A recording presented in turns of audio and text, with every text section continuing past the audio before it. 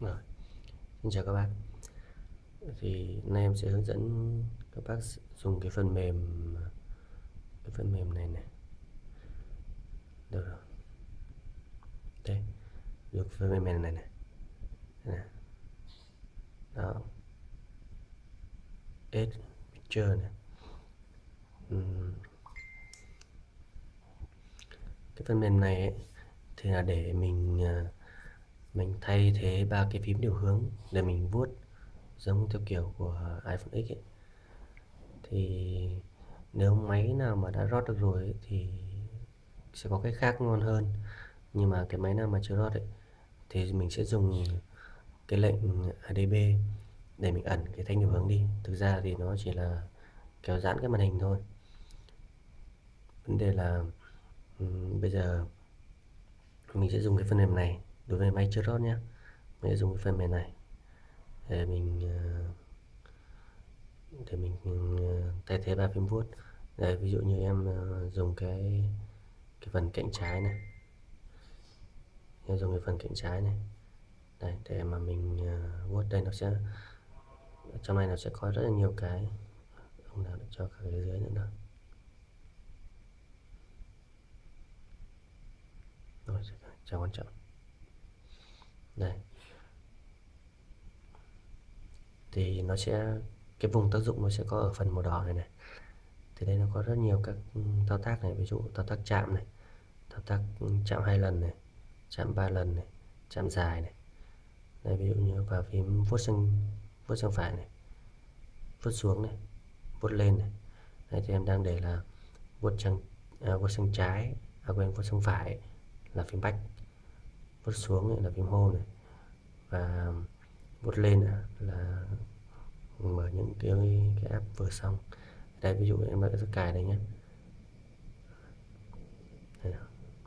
Thì khi bác cài xong cái phần mềm này thì bác phải nhớ vào cái phần à, khả, phần chung này. Và cái phần à, khả năng truy cập này này. Đấy. Và vào trong này thì nó có cái phần này này. Đấy. phần này thì mình phải bật nó lên lúc này lúc, lúc đầu nó sẽ tắt. Lúc đầu nó sẽ tắt thì cái phần mềm nó sẽ không có tác dụng. Thì mình phải bật nó lên. Đó. rồi mình cho quay trở về phần cài đặt của, của cái phần mềm đấy. Đây thì ví dụ em đang là là, là dùng cái, cái cạnh trái này.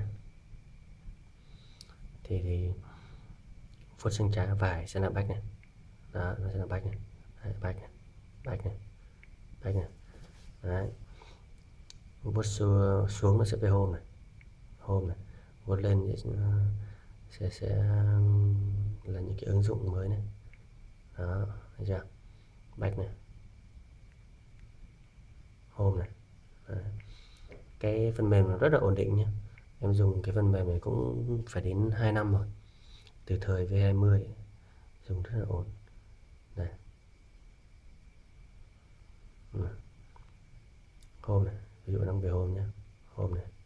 Đó. đa nhiệm này. Đó. bách này. Đó. bách này. Đó. rất là, là là dễ. Cái phần mềm này thì thì mình đa số là không dùng được cái cạnh dưới này nhé vì cạnh dưới này nó vướng mấy cái phím điều hướng. Khi mình ẩn đi ấy, thì nó, nó nó kéo giãn màn hình ra thì nó cũng rất là khó mình sẽ dùng hai cái hai cạnh bên này em thấy là, là, là dễ dàng nhất.